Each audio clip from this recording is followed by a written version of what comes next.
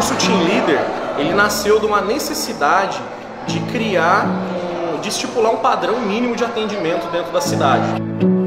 Porque a comunicação, a comunicação, a empatia, o sorriso quebra barreiras, faz com que o cliente ele se entregue ao vendedor no sentido de confiança, no sentido de ver o vendedor não como um vendedor, mas como um consultor.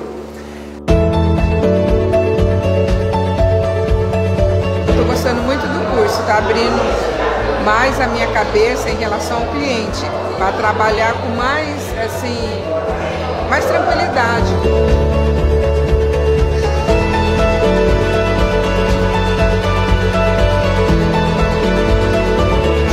também o Álvaro, assim, ele é bem simpático, ele tá passando bem pra gente, assim, com relação a experiências que ele já teve também.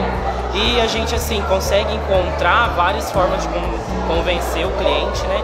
Não só de convencer, mas também de simpatizar, conversar com o cliente e fechar a venda, né?